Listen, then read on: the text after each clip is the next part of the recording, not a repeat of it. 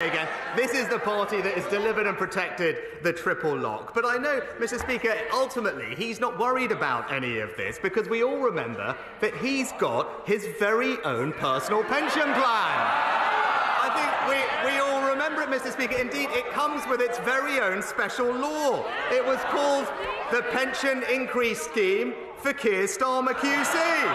It's literally one law for him and another one for everyone else. He wants to abolish national insurance. It'll cost £46 billion, and he won't tell us where the money is coming from.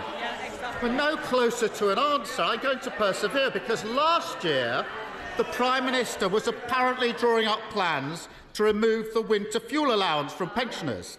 His Paymaster General went a step further. He said these are the sorts of things that we need to look at.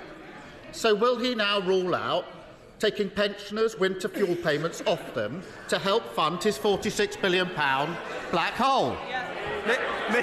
Mr. Speaker, it, it, was this government that just this winter provided double the winter fuel payment to support pensioners. But what is crystal clear, Mr. Speaker, is that we believe that the double taxation on work is unfair, Mr. Speaker. We believe that hard work should be rewarded, and that's why this week we're cutting taxes by £900 for everyone in work. But in contrast, Mr. Speaker, it's Labour's newest tax advisor who thinks pensioners should be taxed more. That's his words, Mr. Speaker. This advisor calls them codgers.